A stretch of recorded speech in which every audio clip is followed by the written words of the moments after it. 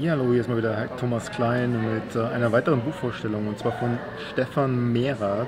Ähm, der Weg zum erfolgreichen Unternehmer und der stellt sich da die Frage oder stellt dem Leser die Frage, bist du ein echter Unternehmer? Ja? Und hier nur ganz kurz.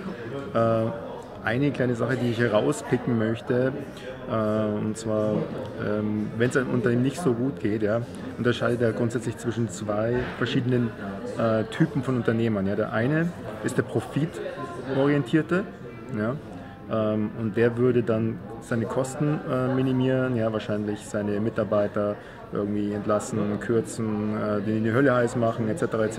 Na, ist eher, ihr könnt euch schon denken, das ist die schlechtere Variante. Und der zweite äh, Unternehmertyp ist der kundenorientierte Unternehmer. Ja? Und der wird sich darauf konzentrieren, den Kundennutzen zu erhöhen. Ja? Okay? Darin liegt die äh, Schmalz im Gewürz oder der Hase im Pfeffer oder ja, um damit der Laden wieder läuft letztendlich. Denn wenn der Kundennutzen erhöht wird, wird der Kunde letztendlich mehr Geld zahlen, mehr äh, Budget äh, locker machen, Word of Mouth, also ähm, Empfehlungen machen und das Unternehmen wird wieder letztendlich auf die Füße kommen. Hol dich mal das Buch von Stefan Mehrer.